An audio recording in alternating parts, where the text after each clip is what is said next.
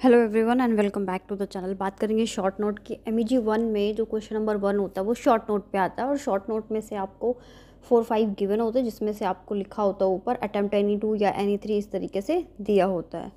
तो ये short note मैंने 2020 से लेके अब तक जो भी पेपर हुए हैं स्पेशली जून बैच में, क्योंकि जून का पेपर जून के साथ क्वेश्चन मैच करता है और दिसंबर बैच का पेपर दिसंबर बैच के साथ.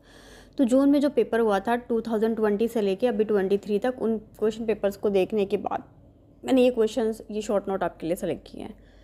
पहला देखिए vowels cardinal vowel bilingualism cooperative principles blends या blending the rising tone and its function simple compound complex sentence the process of standardisation and note on vowel and consonant ये जितने भी शॉर्ट नोट हैं, इनको देखो, मैंने टिक करके वी लिखा हुआ है वी फॉर वीडियो चैनल पे जाएँगे आप सर्च करेंगे बाय सक्सेस मेकर आपको वीडियो मिल जाएगी, आप इसको कवर कर लेंगे.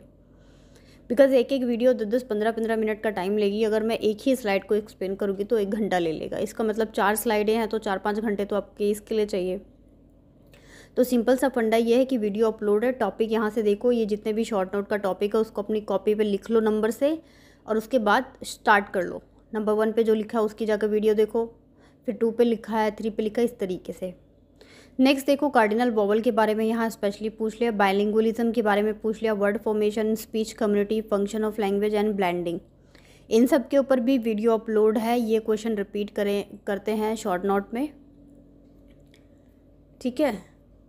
और इसको छोड़ के बहुत सारे शॉर्ट नोट हैं आपके, जैसे कि सेपियर वॉल्फ का hypothesis uses of tone in English motivation the notion of Indian English और लिटरल एंड फिगरेटिव मीनिंग देखो, इसमें किसके ऊपर वीडियो नहीं मिलेगी? आपको मोटिवेशन के ऊपर नहीं मिलेगी और लिटरल और वर्सेस फिगरेटिव मीनिंग के ऊपर नहीं मिलेगी। इनकी वीडियो आपको नोट्स में मिलेगी। ठीक है? इन दोनों की वीडियो आपको कहाँ मिलेगी? नोट्स पे। जो व्हाट्सअप ग्रुप बना हुआ है, उसके नोट्स व्हाट्सअप ग्रुप पे आपको इसके नोट्स मिल जाएँगे शाम तक। किसके? मोटिवेशन और लिटरल वर्सेस फिगरेटिव मीनिंग शोर नहीं मचाना है, जितनी वीडियोस ऑलरेडी अपलोडेड हैं, उनको देखो। ये दो आपको कहाँ मिल जाएँगी? व्हाट्सअप ग्रुप पे मिल जाएँगे और व्हाट्सअप ग्रुप का लिंक मैं आपको कम्युनिटी सेशन में दे दूँगी। अभी नहीं मिलेंगी, शाम तक मिलेंगी, क्योंकि मैं शॉर्ट नोट के बाद क्वेश्चंस आपके साथ डिस्कस करूँगी, जो रिपीटेशन में है, और शाम तक आपको नोट्स मिल जाएँगे। ठीक है? जिन पे भी ब्लू से टिक लगा है और वी लिखा है, वो उन सबकी वीडियो चैनल पे अपलोड है। आप चैनल के नाम के साथ सर्च कर लेंगे या फिर प्लेलिस्ट में जाके ढूंढ लेंगे। पिजन और क्रियोल है, उसके बाद देखिए डिफरेंस बिटवीन मोइनिज़म और डुअलिज्म है। द कोऑपरेटिव प्रिंसिपल ये बहुत रिपीट करता है characteristics of human language and inflectionals and synthetic language इसके ऊपर भी वीडियो ये पूरी स्लाइड जो इन सब पे वीडियो अपलोड है। नेक्स्ट ये मैंने सबसे पहले आपके साथ डिस्कस कर लिया था कि cardinal vowel bilingualism word formation speech community function of language and blending इन सब के ऊपर वीडियो अपलोडेड है, मिल जाएगी। ठीक है? तो जितने भी शॉर्ट नोट मुझे लगे और ये रिपीटिशन में थे तो इनको मैंने आपके साथ डिस्कस कर लिया है।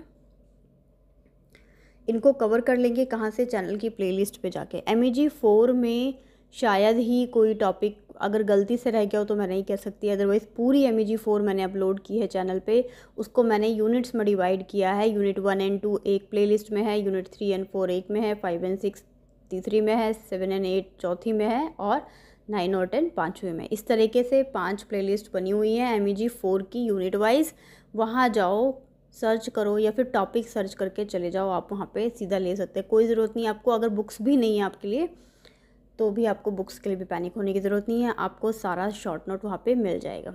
अब कन्फ्यूज़ मत होना। जैसे पिजन एंड क्रियोल है, इसका मैंने टॉपिक पूरा करवाया हुआ है ऑलमोस्ट चौदह से पंद्रह मिनट में। तो इसके ऊपर क्वेश्चन भी बन सकता है शॉर्ट नोट भी बन सकता है इंपॉर्टेंट है। तो वो एक प्रॉपर आंसर है, ये मत बोलना उसके नोट्स का है, क्योंकि एम ई जी फोर में जितने भी नोट्स होते हैं, जितनी भी इंपॉर्टेंट चीज़ें होती हैं, सब मैंने स्लाइड पे लिख के आपको दिया है। उसका अलग से कोई नोट्स नहीं बनेगा, जितनी इंपॉर्टेंट चीज़ें होती हैं ऑलरेडी मैंने वीडियो में आपके साथ डिस्कस किया स्लाइड्स के थ्रू एक एक स्लाइड में जितनी चीज़ें लिखी हैं, वो सब नोट्स ही हैं। ठीक है? और मुझे लगेगा किसी में कुछ अलग से देने की ज़रूरत है तो वो मैं आपको प्रोवाइड कर दूँगी। अदरवाइज़ वीडियो देखो और उसमें जितनी भी चीज़ें लिखी हुई हैं, उन सबको नोट डाउन करो, नहीं तो स्क्रीनशॉट ले लो और एग्ज़ाम के लिए उतना सफिशियंट है, उसको इलाबोरेट कर देना। ठीक है? थैंक यू सो मच मिलेंगे अपने अगले वीडियो में, जिसमें हम क्वेश्चंस को डिस्कस करेंगे। Good luck for your exam